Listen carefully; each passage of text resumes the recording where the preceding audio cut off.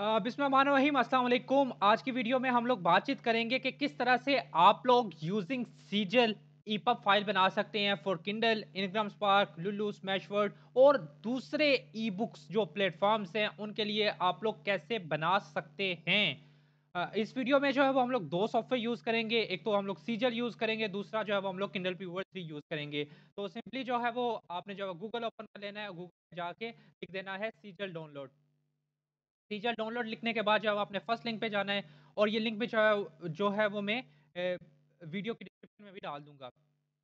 तो जो है वो आप इन दोनों लिंक से जो है वो फॉर विंडो के लिए भी और मैक के लिए भी जो है वो सॉफ्टवेयर डाउनलोड कर सकते हैं। मेरे पास जो है वो ऑलरेडी सीजल जो है वो इंस्टॉल है तो मैं सिंपली जो है वो सर्च में जाके सीजल सर्च करता हूँ और ओपन कर लेता हूँ। इसी तरह से जो है वो हमारे पास जो दूसरा सॉफ्टवेयर है वो किंडल व्यूअर 3 मैं ओपन कर लेता हूँ और आपको बता देता हूँ कि आप लोग कैसे जो है वो उसको डाउनलोड कर सकते हैं। तो आपने सिंपली जो है वो गूगल पे जाना है, किंडल व्यूअर 3 लिखना है और फ़र्स्ट लिंक पे जाना है।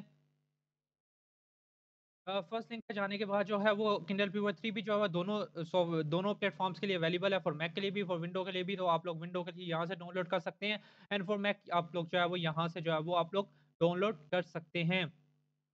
तो मैं सिंपली जो है वो अभी इनको क्लोज़ करता हूँ।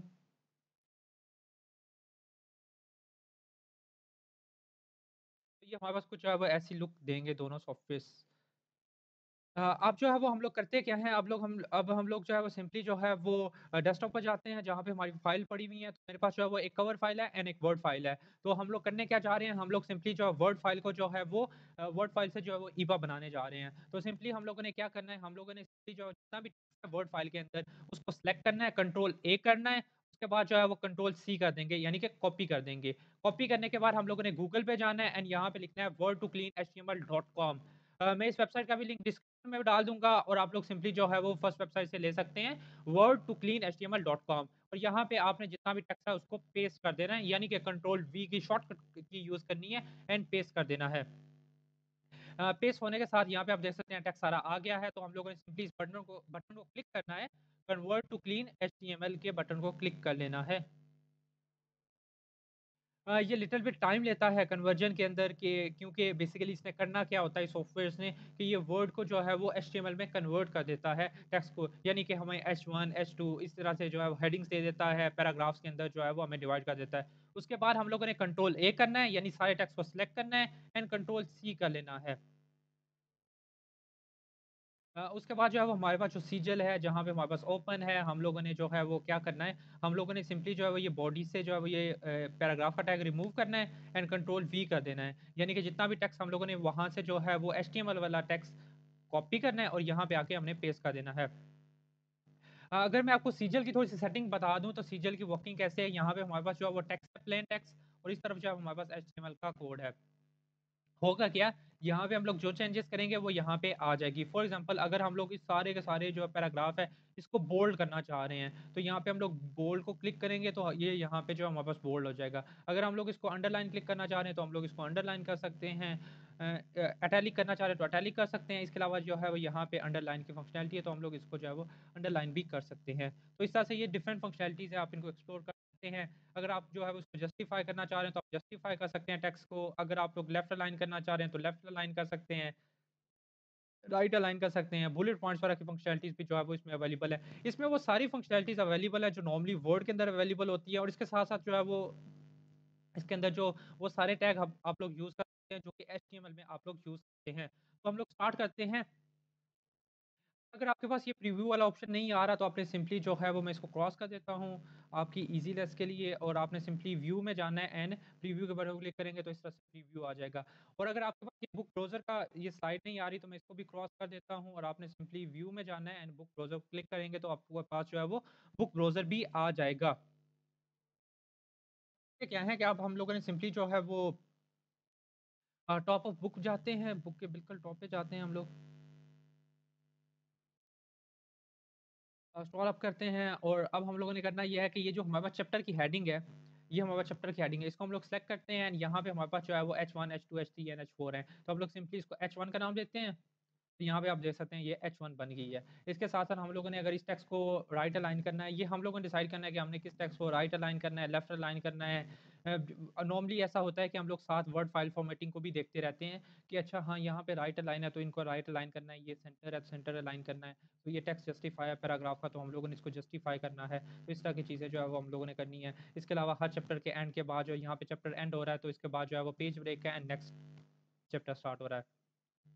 तो हम लोग करते क्या हैं, अब हम लोगों ने जो है वो हर चैप्टर के एंड पे जाना है एंड पेज ब्रेक लगाना है। एंड पेज ब्रेक हम लोग कैसे लगा सकते हैं, चैप्टर के एंड पे गए, एंड पे जाके हम लोगों ने सिंपली एंड पे क्लिक करने के बाद कंट्रोल इंटर शॉर्टकट की यूज़ करनी है, जो कि हम लोग वर्ड में भी यूज़ कर सकते हैं, कंट्रोल इंटर की की शॉर्टकट।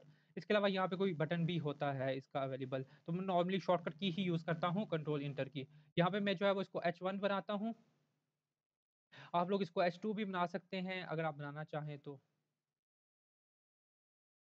साथ-साथ जो है वो हम लोग इम्पोर्टेंट चीज़ कर लेते हैं कि फ़ाइल को सेव तो कर लेते हैं। सिंपली फाइल्स पे जाते हैं, सेव पे जाते हैं सिंपल फ़ाइल सेव का नाम दे देते हैं जी, सिंपल फ़ाइल सेव और सेव के बटन को क्लिक करेंगे तो ये हमारे पास सेव हो जाएगी। इसी तरह से जो है मैं हर चैप्टर के एंड पे जाता हूँ एंड पे जाता हूँ और हम लोगों ने क्या करना है, हम लोगों ने पेज ब्रेक लगाना है। तो यहाँ पे हमारे पास जो है वो ये सेक्शन आते रहेंगे। और इसको जो है वो हम लोगों ने H1 भी बना देते हैं। यहाँ पे एच को क्लिक करते हैं एंड H1 पे जाते हैं। जाते हैं, एंड पे क्लिक करते हैं, कंट्रोल इंटर दबाते हैं और इसको जो है वो चैप्टर को सेलेक्ट करते हैं। सेलेक्ट करने के बाद जो है वो हम लोग हेडिंग को जो है वो H1 बना देते हैं। इसके बाद में जो है वो फिर कंट्रोल एस दबाता हूँ और अब मैं क्या आपको फंक्शनैलिटी सिखाने जा रहा हूँ, वो कि आप लोग कवर फ़ाइल कैसे ऐड। तो आपने सिंपली इमेजेस के फ़ोल्डर पे राइट क्लिक करना है, राइट क्लिक करने के बाद ऐड एन एक्जिस्टिंग फ़ाइल पे जाना है, ऐड एन एक्जिस्टिंग फ़ाइल के बाद जो है वो हमारे पास जहाँ पे भी कवर फ़ाइल पड़ी हुई है, हमारे पास जो है वो ये फाइल्स के नाम से फ़ोल्डर है, इसमें कवर फ़ाइल पड़ी हुई है, सिंपली इस पे डबल क्लिक करेंगे तो ये इमेज जो है वो हमारे पास सीजल में आ जाएगी। सीजल में आने के बाद हम लोगों ने सिंपली जो है टूल्स में जाना है, ऐड अ कवर पे जाना है। ऐड अ कवर पे जाने के बाद जो है वो हम लोग इस पर डबल क्लिक करेंगे तो ये हमारे पास फ़ाइल आ जाएगी।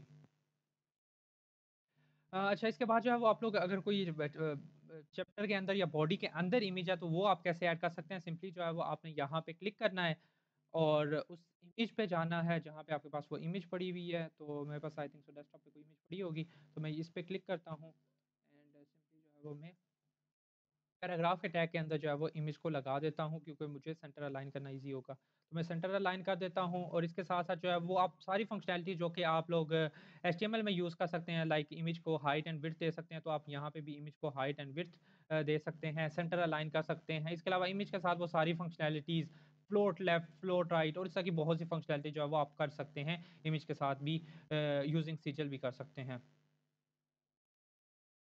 तो चलें अब आप ये तो बहुत सी फंक्शनैलिटीज़ मैंने आपको बता दी हैं जिसके अंदर बोल्ड करना, इटैलिक करना, अंडरलाइन करना मैंने आपको सिखाया। एक बार दोबारा बता देता हूँ सिंपली टेक्स्ट को सिलेक्ट करना है, आपने सिंपली बोल्ड पे जाना है, बोल्ड कर सकते हैं, इटैलिक कर सकते हैं, अंडरलाइन कर सकते हैं, लेफ़्ट राइट अलाइन कर सकते हैं। इसके अलावा अगर आप बुलेट पॉइंट बनाना चाह रहे हैं तो आप बुलेट पॉइंट बना सकते हैं।